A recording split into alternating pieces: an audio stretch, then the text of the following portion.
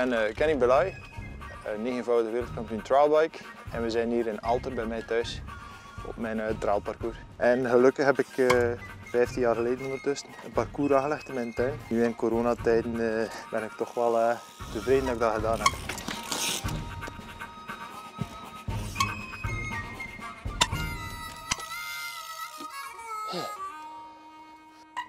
Het blijven in uw kot verhaal voor mij is, um, is eigenlijk ja, geestig. ik ben uh, heel nuttig bezig. Ik ben aan het werken op mijn zwakke punten op mijn trailbike. Uh, ik zie mijn familie uh, eigenlijk meer als vroeger. Want anders ben ik altijd in het buitenland. Dus voor mij persoonlijk is dit eigenlijk welkom.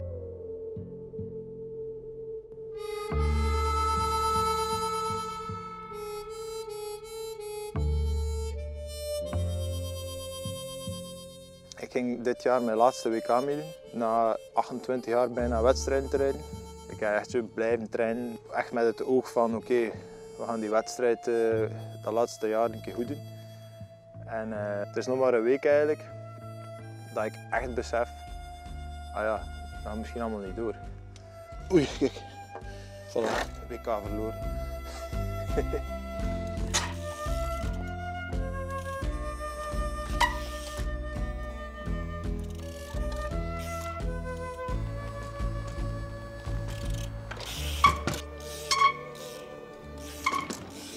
ben er eigenlijk wat plezier in te krijgen.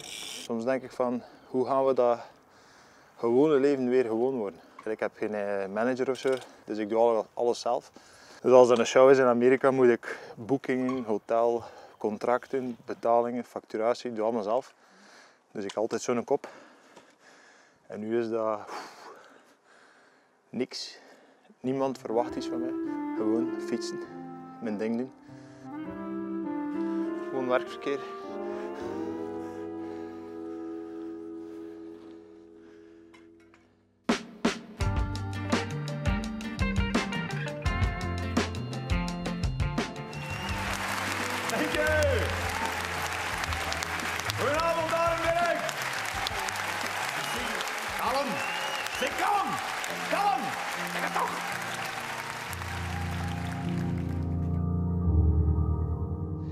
Ben nogal een eenzaad, normaal. Uh, maar zelfs ik begin er last van te hebben. Want ik ben eigenlijk, voor mij is er heel weinig veranderd. Ik merk alleen dat mijn, mijn vrouw elke nacht thuis is. Is het weer zondag? Ah nee, juist quarantaine. Da.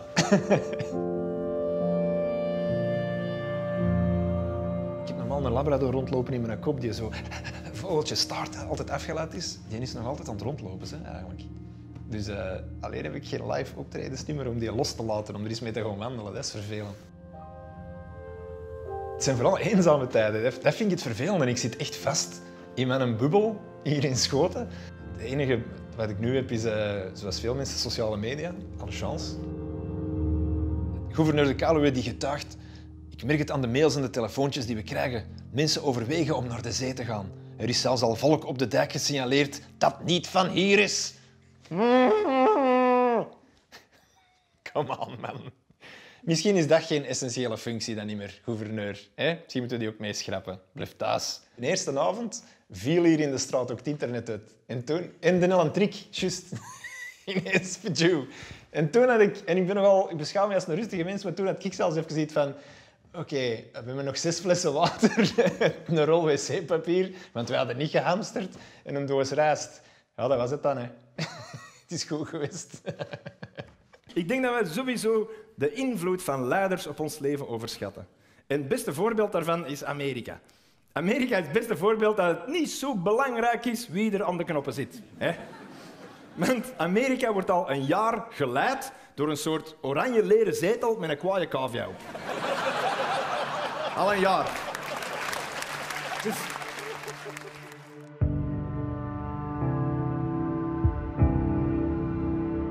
Er is niks zo verbindend voor mensen, dat is wereldwijd, als samen lachen.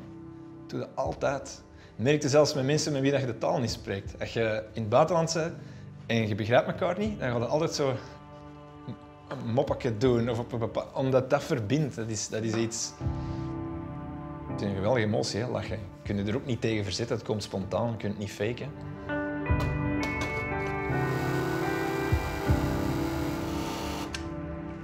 Nog wat vuil en afwas en zo, daar gaat hij van ons blij mee zijn. 2020 was uh, een roemeljaar voor mij al. een hoop uh, miserie in de omgeving. Ik heb mijn vader moeten afgeven en rond zo'n ziekenbed worden ook vaak de hardste grappen nog eens boven gehaald. En omdat die lach katatonisch werkt, dat werkt echt als een bevrijding voor spanning en, en stress en negatieve gevoelens. Dat is, een soort reset. En dat merkte heel hard, vind ik, op, uh, op internet, hoe dat sociale media nu ook wordt gebruikt als kanaal om mensen voor hun, voor hun stress los te laten door moppen te delen, door memes te delen, door, door jokes. En dat is een veel leukere uitlaatclip dan die frustratieposts van er was weer een man, zat op een bankje. En, want dat is... Ah, vind ik frustrerend. Dus in plaats van die negatieve gevoelens te voeden, kunnen we beter proberen ervan met te lachen.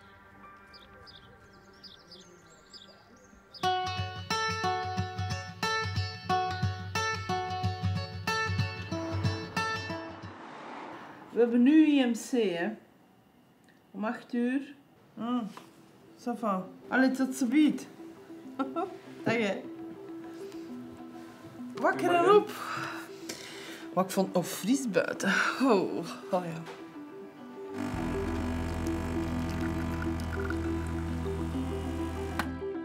Toch nog 250 nieuwe en dan 239 mensen ontslagen, genezen. Het is de dagelijkse search in de, in de ziekenhuizen die ons meer, allez, die ons wel leert wat de stand van zaken is. Merci, is van Mieke. Oké. Okay. Ça c'est pour le kern. Mijn moeder woont uh, nog thuis met haar partner en uh, wordt 80 en dus is ook een risicogeval. En uh, zij blijft vooral in haar huis. Ja. Het weegt wel op haar, want zij heeft ook allee, een toch wel redelijk sociaal leven en dat valt nu helemaal weg. Ik hoor als ik telefoneer, ten eerste is ze vroeg veel meer thuis. En, en ze, is, ze, altijd thuis nu. En ten tweede, ja, uh, tracht haar toch bezig te houden met, met film kijken.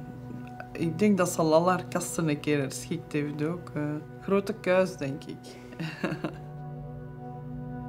ze had liever uh, dat ik een beetje minder op, op mij verantwoordelijkheid had en er wat meer voor haar zou kunnen zijn, dat weet ik zeker.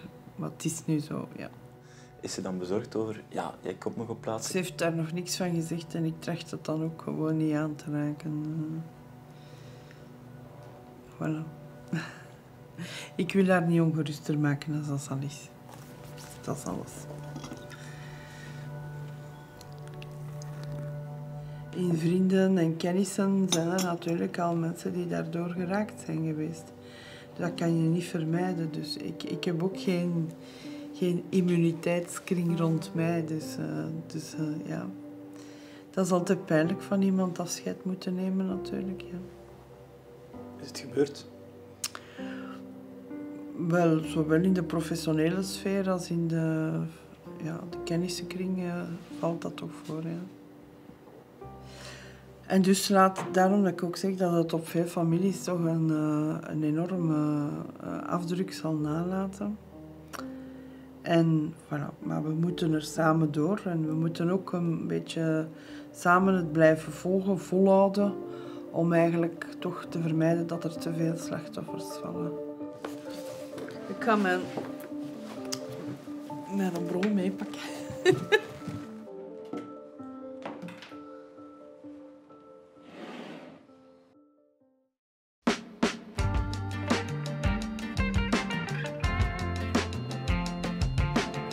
Hallo België, ik ben Jan. Mensen kennen mij hier beter als Juan. En deze kleine drommel hier is Hagar. Drie jaar en een half geleden ben ik uh, komen wonen in Manilva, een klein dorpje in het zuiden van Andalusia, gelegen tussen uh, Estepona en Gibraltar. Dit is een klein vissersdorpje, uh, waar in de winter sowieso niet veel te beleven valt. Maar het seizoen nu normaal gezien al volop op gang had moeten komen. Maar daar heeft het coronavirus dus een stokje voor gestoken. Hallo, ik uh, ben Patricia Rijzenburg. Ik ben 49 jaar en ik woon en werk um, in Londen als huisarts. Dit is de straat waar mijn praktijk is. Meestal is het een heel drukke straat. Ja, dit is dan mijn praktijk, waar het meestal heel erg druk is. Heel erg druk. We staan hier momenteel in een supermarkt. Er zijn ondertussen ook geen handschoenen niet meer, dus iedereen wordt gevraagd om uh, plastic handschoenen aan te doen uh, over de handen. Dit is mijn spreekuur. Je ziet verschillende uh, nummertjes, dat zijn dus de patiënten. Doe je ofwel een telefonisch gesprek met de patiënt, kijk je wat het probleem is, of je het zo kan oplossen. Um, als dat niet gaat, dan doen we een uh, videogesprek. Hallo daar, Mr. Ahmed. How, how are you doing? I'm doing excellent. Yeah, just as you know, because of Corona, we cannot um, have you mainly in the building. So you, you did tell me that you had a, a pain somewhere. Okay, no problem. Thank you very much for your You're very welcome and look after yourself. Take care. Thank you. Bye bye. Gelukkig om de tijd te doden zijn we ook uh, begonnen met uh, enkele goede initiatieven op poten te zetten, want er zijn heel veel mensen hier die zonder inkomen zijn komen te vallen. Vandaar dat we bijvoorbeeld met restaurant Miel uh, twee keer per week maaltijden gaan koken. En Kaat, wat ben jij deze keer aan het maken? Wat staat er op het menu? Uh, vandaag staat er op het menu lasagne. Oh, lopen, lopen, lopen, lopen, lopen, lopen. Hey. Kijk eens aan. Fantastisch. Een van onze patiënten die um, 91 was, is uh, net overleden. Het is uh, zeker een uh, COVID-case. Dus we zijn nu even bezig met het doodcertificaat. dit is ook de realiteit voor ons. we hebben wel dagelijks toch wel per arts een paar gevallen van COVID die we um, zien en met wie we spreken. We zijn net klaar met koken. Zometeen komt men alle eten dat wij hebben klaargemaakt ophalen. En omdat het Pasen is, heeft Kaats er ook nog voor gezorgd dat iedereen een lekkere fles cava krijgt. Dus uh, zo is het toch nog een beetje Pasen hier in Andalusia. Santé! Santé iedereen! School!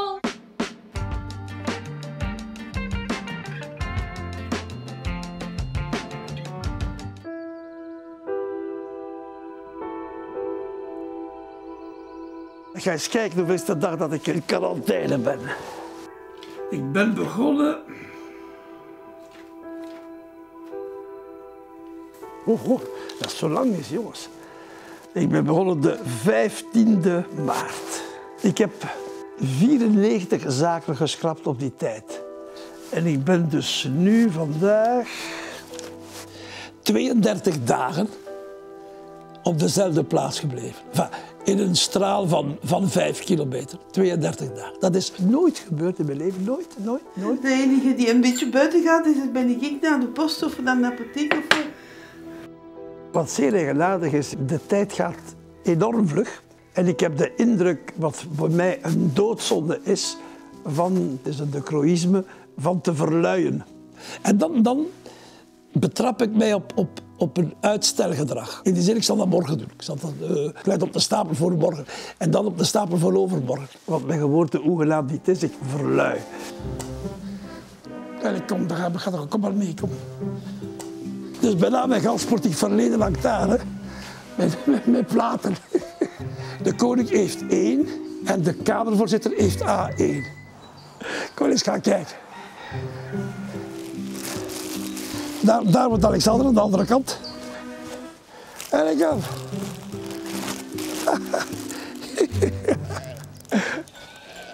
maar je, je, je, je, je, die stond toch, hè? Uh, het is plezant als ik hier kijk. Je hebt daar een bankje staan. Uh, je kunt je daar zetten in de zomer. Je kunt een boek uh, lezen hier buiten. Uh, hier mag ik blijven zitten op de bank. Want, het is in mijn tuin. Het is het risico is toegelaten. Maar het is natuur, hè? We hebben twee koppels kinderen, dat ons zeggen. Twee kleine kinderen in Brussel, die van Arjan en die van Alexander, die naast de deur woont. Je ziet het hier. Normaal komen ze langs daar, binnen langs boven. Binnen nu mogen ze niet. Dus ze zijn ook in quarantaine. En die zien we gewoonlijk veel, maar kort. Het is eigenaardig hoe dichter men bij elkaar woont, uh, hoe, hoe moeilijker het is te aanvaarden dat dat niet kan. En toch moet je het aanvaarden, toch moet je het doen. En, uh, allez, dat is een, uh, een moment waar, waar we het toch niet gemakkelijk hebben. Hè. Ja, ja. Maar dan gaan we eens naar de paarden kijken.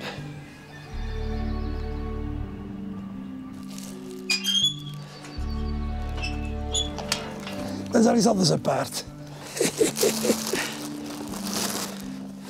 Tipsy. Allee, kom. Sst, jij niet. Sst, geen oren leggen. Jij bent niet de baas. Ik heb een paar vrienden die corona gehad hebben en die eruit geraakt zijn. Eh, ik neem een koers twee keer per dag, wat ik nooit deed daarvoor. Ik moet zeggen, ik ben, ben niet paniekerig van natuur. Dus ik ben optimist, maar van tijd tot tijd zeg ik in mijn eigen... Ja, het kan morgen als een loden vest op mijn schouders vallen. Misschien overleven we dat niet. Daar gaat het mooi uitzendingen. Misschien overleven we dat wel. Maar dat gaat gewoon andere, andere uitzendingen hebben. Ik, eh, ik weet het niet. Helemaal. Helemaal. Nandu. Doe, doe, doe, doe.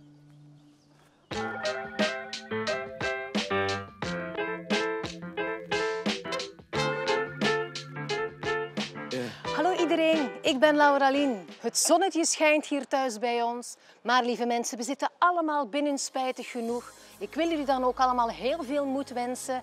Vooral een hele goede gezondheid. En niet vergeten, als we deze zomer terrasjes willen gaan doen, blijf nu vooral binnen. Blijf in jullie kot. Jij zegt dat je graag vrij wil zijn. Niemand, zeg jij, krijgt je klein. Jij hield helemaal niet van mij. Jij hebt me duizendmaal verloren. Je deed me duizendmaal zo pijn. Ik ben met jou zo gevlogen. Maar de hemel was niet vrij. Jij was de wind onder de vleugels. Ik denk zo vaak nog aan je lach. Dat wil ik overdoen met jou deze nacht. Jij was de wind onder mijn vleugels. Ik denk zo vaak nog aan je lach. Dat wil ik overdoen met jou deze nacht. Dat wil ik overdoen met jou deze nacht. Zo lieve mensen, dat was het dan. Ik hoop dat jullie een beetje genoten hebben van mijn liedje. En niet vergeten, hè, blijf in uw kot.